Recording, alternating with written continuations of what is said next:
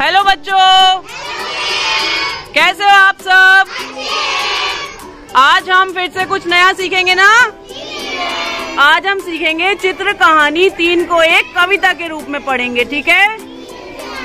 शुरू करें? चलो शुरू करते हैं।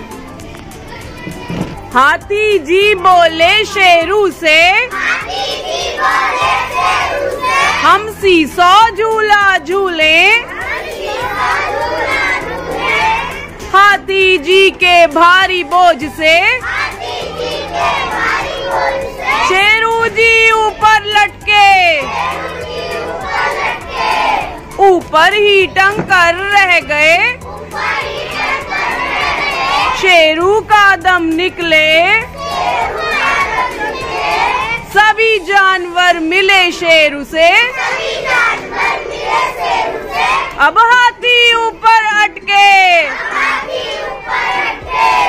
एकता में तो बल है इतना। एक अकेला कहीं टिके ना एकता में तो बल है इतना। एक अकेला कहीं टिके ना कैसी लगी आपको कविता? अच्छी। लगी? अब मैं आपसे कुछ सवाल पूछूँ? ठीक है। अब आप ये बताओ, इस कहानी में सीसो झूला कौन कौन झूल रहे हैं? हाथी और ठीक है। ये बताओ, हाथी हाथी नीचे था, भारी था, वो हाथी नीचे था तो ऊपर कौन लटक गए? शेर लटक गए। शेरू ऊपर लटक गए। अब जब सारे जानवरों ने देखा कि शेरू जी तो ऊपर लटके हुए तो उन्होंने क्या सोचा?